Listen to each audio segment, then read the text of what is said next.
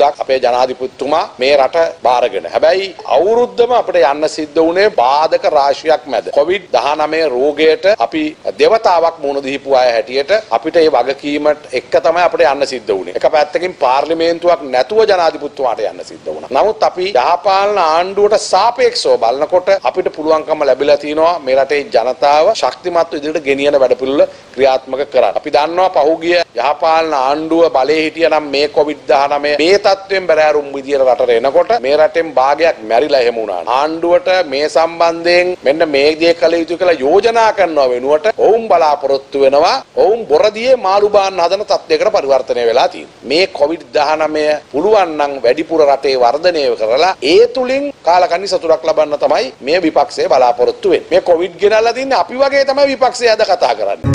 දිනපතා අලුත් වීඩියෝ සහ ප්‍රවෘත්ති නැරඹීමට ඉහත බටන එක කලික් කර සියත TV සබස්ක්‍රයිබ් කරන්න.